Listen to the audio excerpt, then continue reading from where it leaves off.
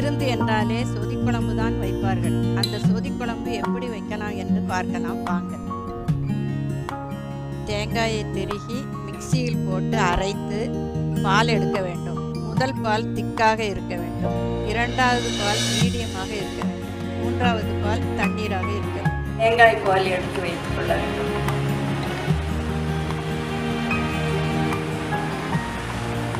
சிறுபருப்பு வெந்து வைத்துக் கொள்ள வேண்டும். காய்கறி கேரட் பீன்ஸ் கத்திரிக்காய் முருங்கைக்காய் பட்டர் பீன்ஸ் இருந்தால் போடலாம். வெங்காயம். அரைப்பதற்கு இஞ்சி பூண்டு பச்சை மிளகாய். காரத்துக்கு தகுந்த மாதிரி போட்டுக்கணும் இது வதக்கி போட வேண்டும். எலுமிச்சம்பழம். இவ்வளோதான் தேவையான பொருட்கள். இப்போ கடாயில் எண்ணெய் ஊற்றி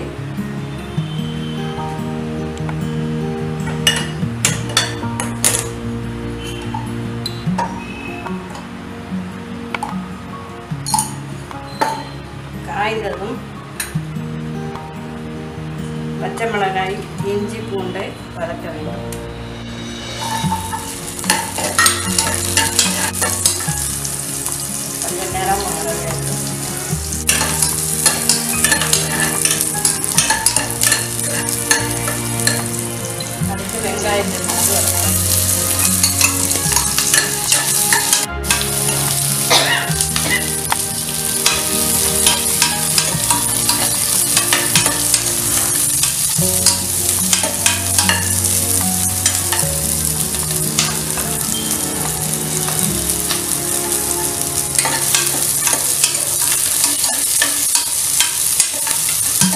காயை போட்டு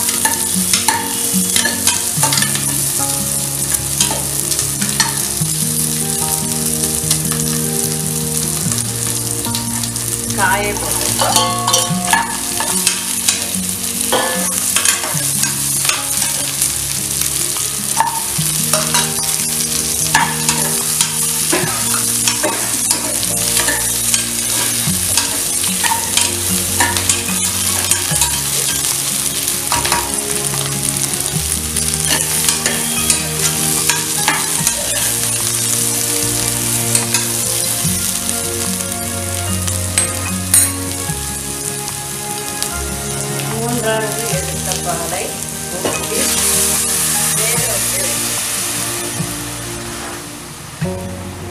காய் நன்றாக வெந்த பிறகு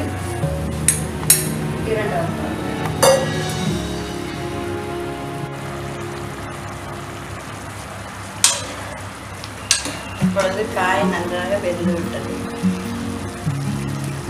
இது இஞ்சி பூண்டு விழுது. அரைத்த விழுது போட்டு கலக்க வேண்டும்.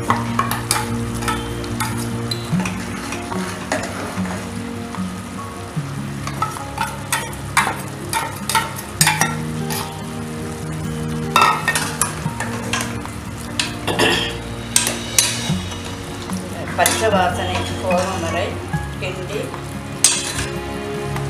கிண்டி விட வேண்டும்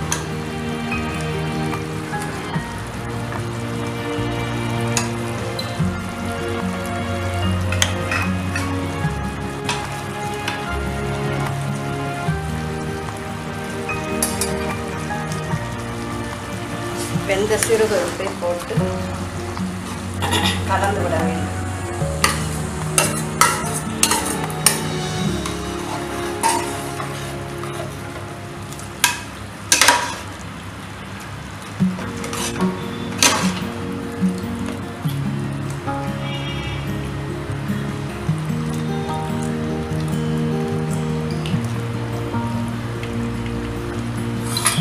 இரண்டாவது தேங்காய் பாலை ஊற்ற வேண்டும் ஊற்றி சிறிது நேரம் கொதிக்க வேண்டும்.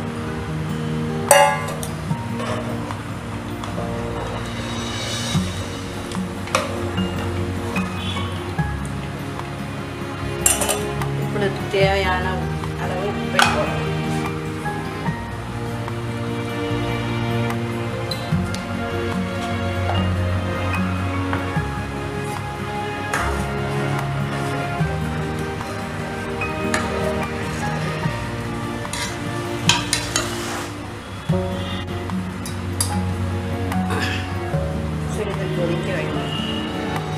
முதல் பாலை விட்டு இறக்கி வைக்க வேண்டும்.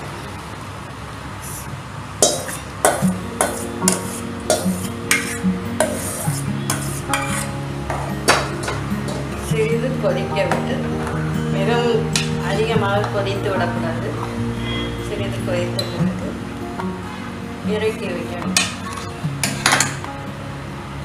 சிறியவர்கள் முதல் பெரியவர்கள் வரை விரும்பி சாப்பிடக்கூடிய தேங்காய் பால் சாப்பிடுவது உடலுக்கு நல்லது இஞ்சி துவையல் அல்லது இஞ்சி பச்சடி வைத்து சாப்பிட வேண்டும் இஞ்சி ஜீரண சக்தியை கொடுக்கும்.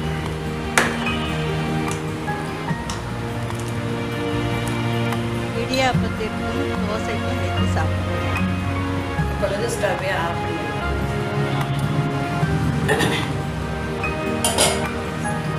சிறிது ஆடிய பிறகு எலுமிச்சம்பழத்தை பொழிந்து सो दे रेडी आर